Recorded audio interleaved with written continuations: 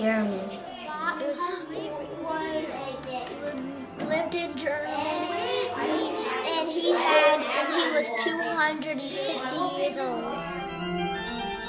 He was fa- he was he was not famous before until he died.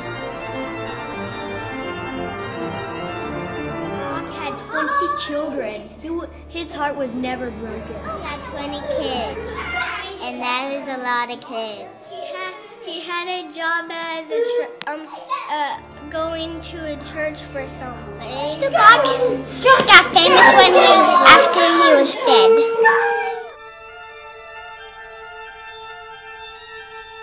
Some people think it's scary, but it's really like playing the accordion and they're trying to make it spooky.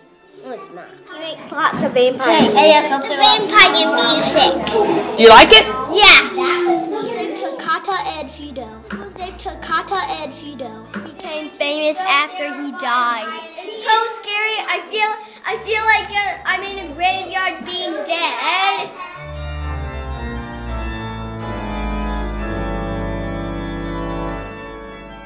name was Johann Sebastian Bach. Can I say it? His name was Johann Sebastian Bach. Um, Bach. This vampire music is so terrifying but.